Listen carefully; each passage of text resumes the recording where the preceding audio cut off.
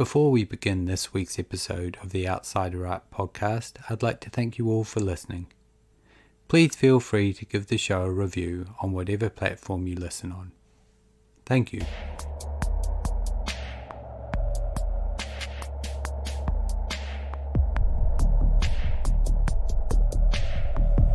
Hello, and welcome to the Outsider Art Podcast, Episode 3 Adolf Wolfli, Part 2.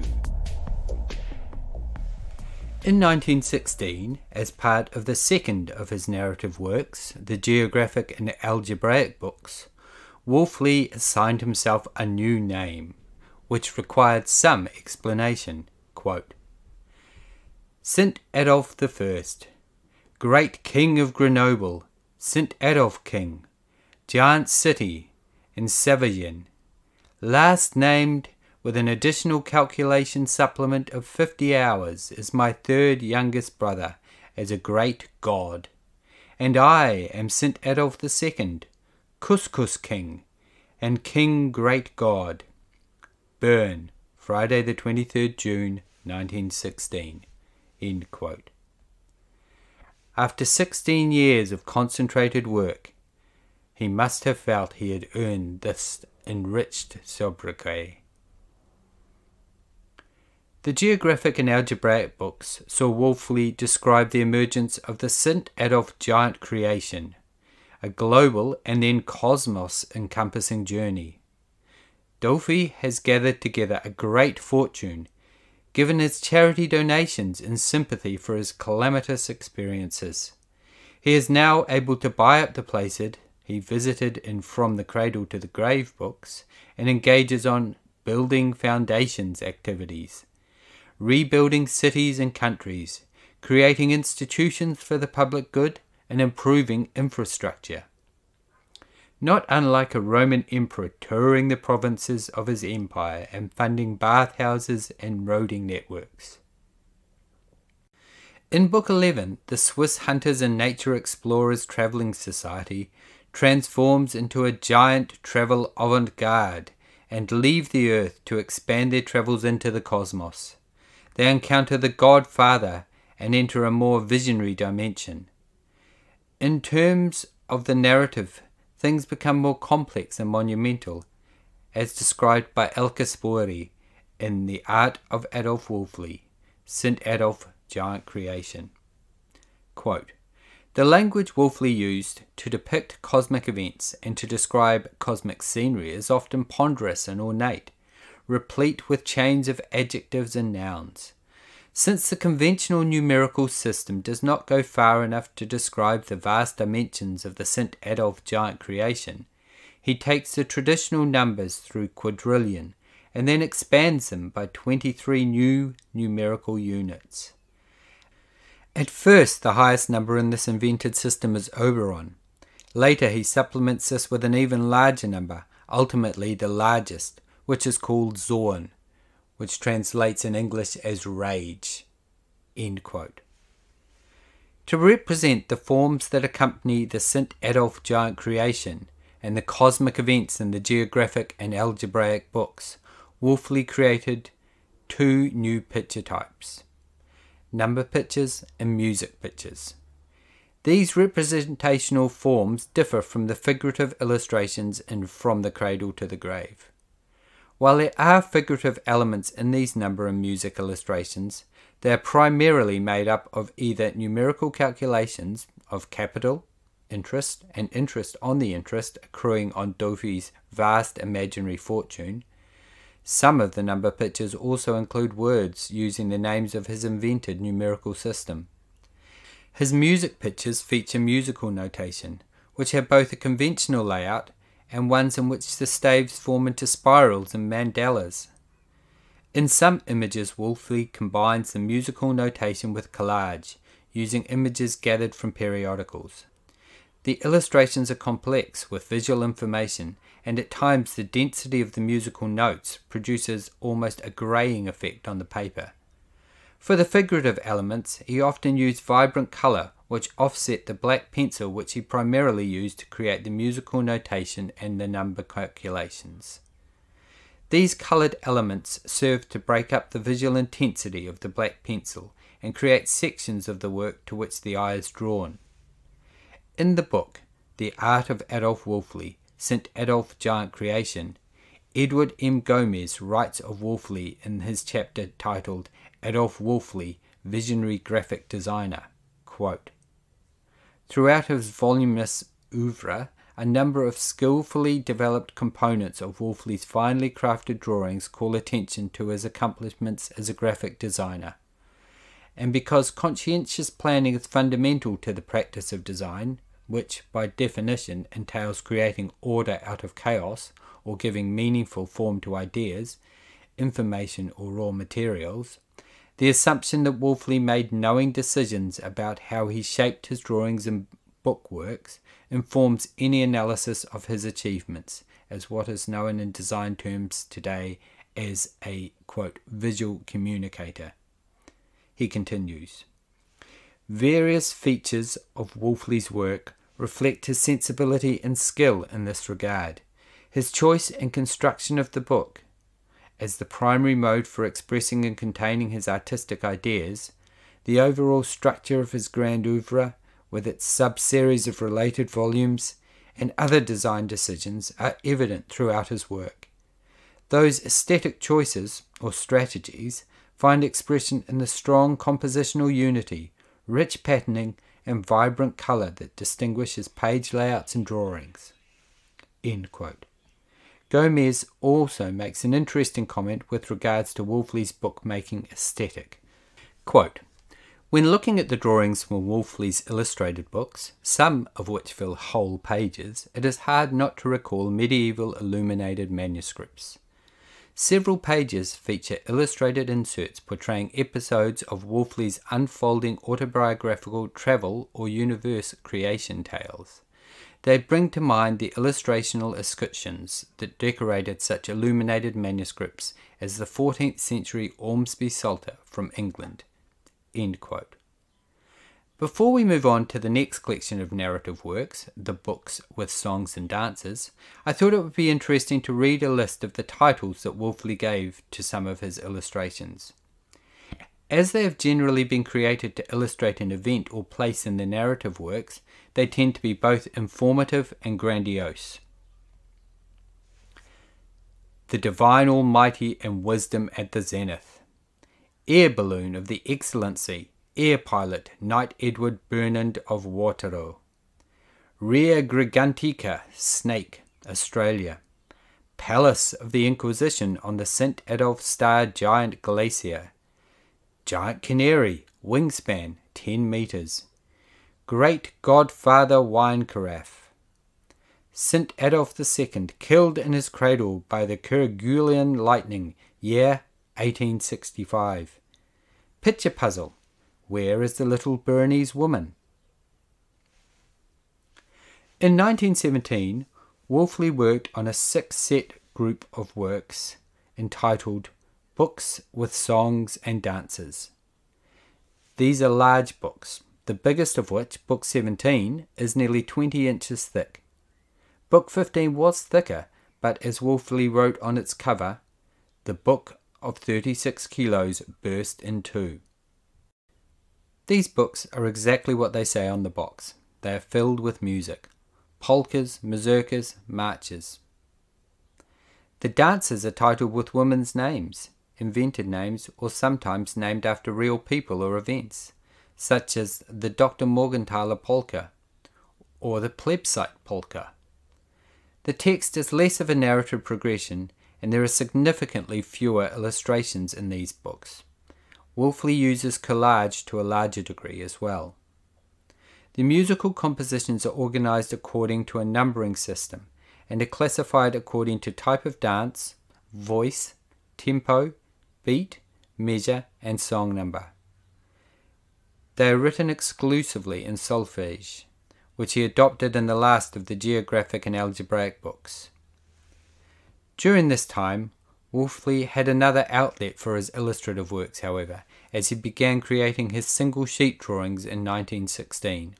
Initially named by Morgenthaler as his bread art and referred to by Wolfli as portraits, These works can be separated from the illustrative work in his narrative oeuvre. However, in the accompanying explanations, which Wolfli wrote on the back of the drawings, they do have a connection in so much as the personages, countries, and events mentioned there can be found in the narrative texts. Wolfli worked on these single sheet drawings until 1930, and we will return to them once we have looked at the final two narrative works. In 1922, in the final text of Book 20, which was part of his Books with Songs and Dances group, Wolfli plaintively bemoans what is preventing him from completing his narrative works.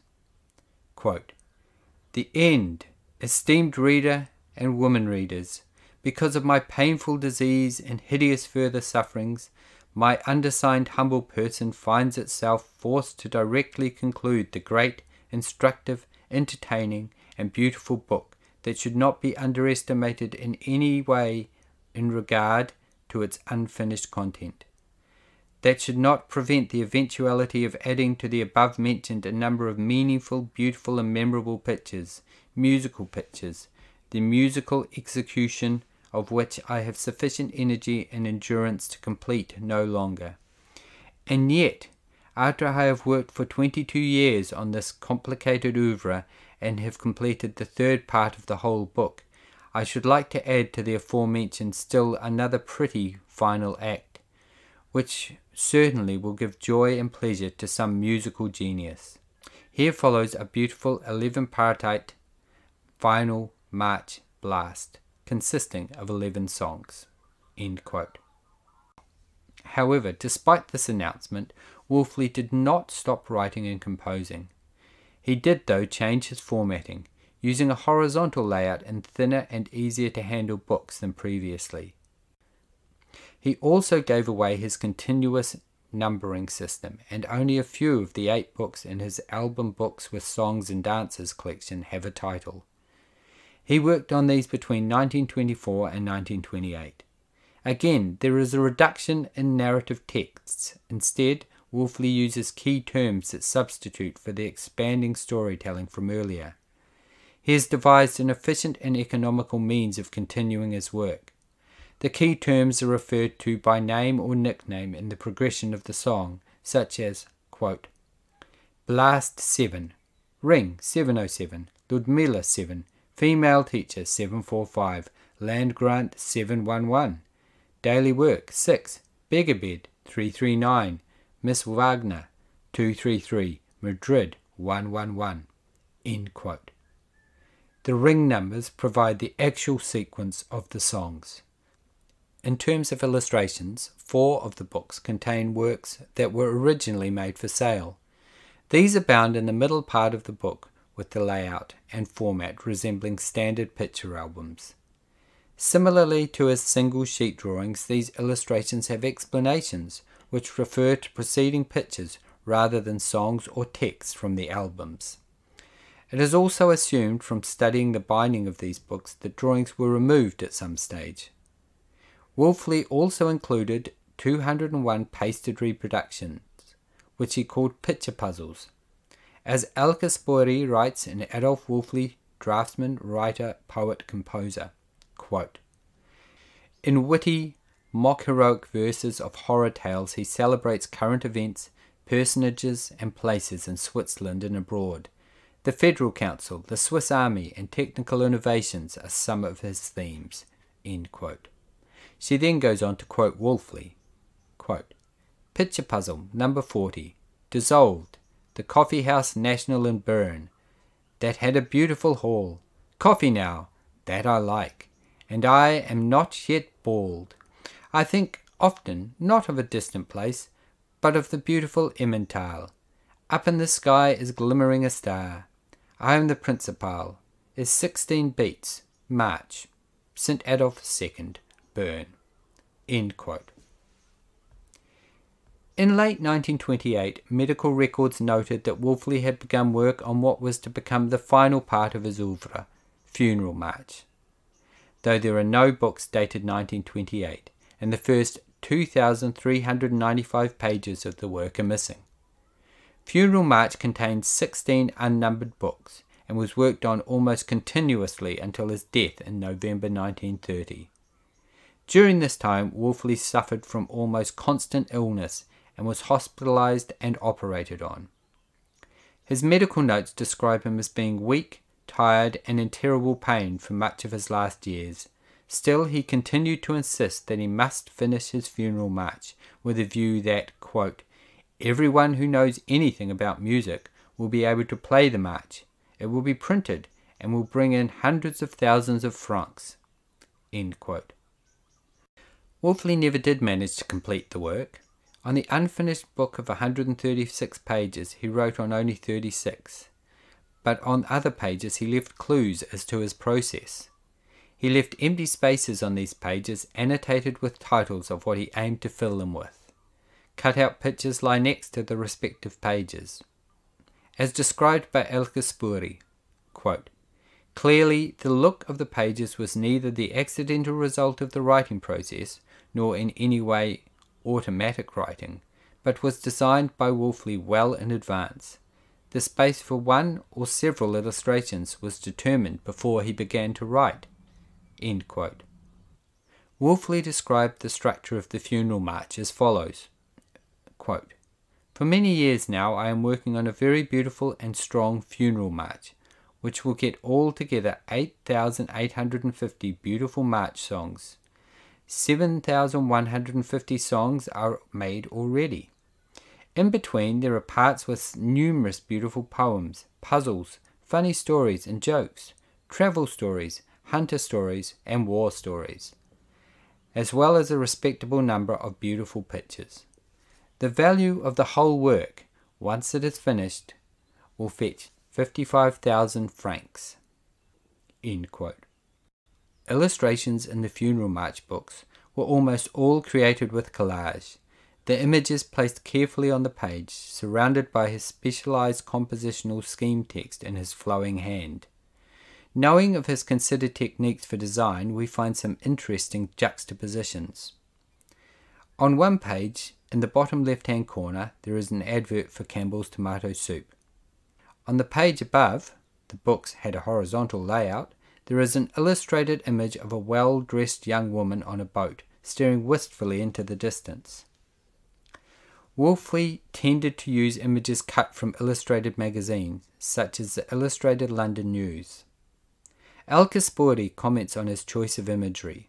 Quote, in spite of his isolated life in the asylum, he shows great acuity in picking out the most relevant topics and events in arenas such as sports, film, politics, city life, and even advertising. All the pictorial motifs of his previous work are paraded once again in concentrated form. Female beauty, mother love, domestic bliss, comfortable living, in contrast to his life of poverty, political and financial power, mountains and glaciers, catastrophes and idols, and so on.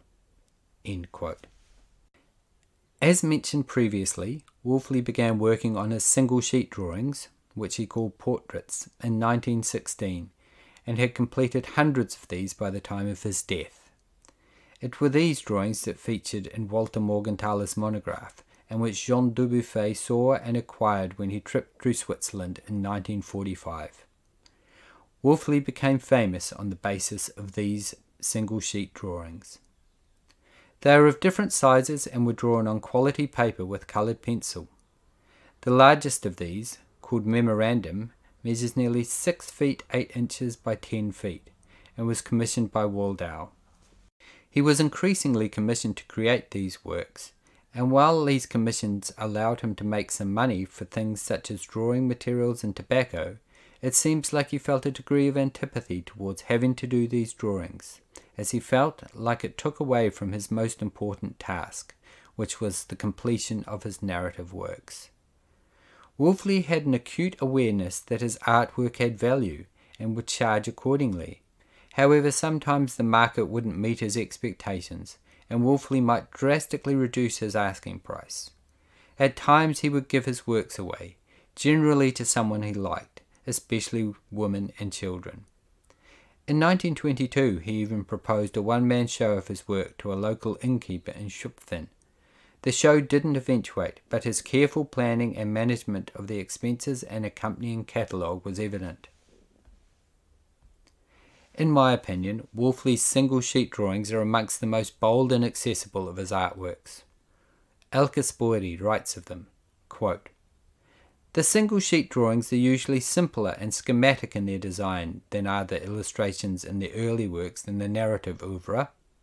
The figurative elements are limited to renderings of one or two persons. Because of the frequent inclusion of wings, these figures often resemble medieval representations of angels. The faces with ornate crowns recall tribal chieftains or extraterrestrial creatures. Sometimes they wear crosses on top of their heads, suggesting religious icons. The figures show very slight gender differentiation. One recognizes the males only by their moustaches. The female figures usually extend their right arm across the left, holding an object at waist level. Sometimes the object is utilitarian, a bass violin, a fan, an umbrella, but most frequently it is a bird. The faces in the single sheet drawings wear a kind of eye mask identical to those that appear on the faces in the text illustrations. The mask is the most idiosyncratic form in Wolfli's work. One can perhaps connect the motif of the eye mask to those experiences and impressions that Wolfli movingly describes in A Short Life Story, and she quotes Wolfli. Look at the frequently sunken, deep set eyes of the lower classes, where you can see all too clearly the sorrow and misery that weigh on their hearts. Not everyone who sees his grieved, martyred face in the washroom mirror in the morning is a drinker. On the contrary, the grounds for his misery are to be sought elsewhere.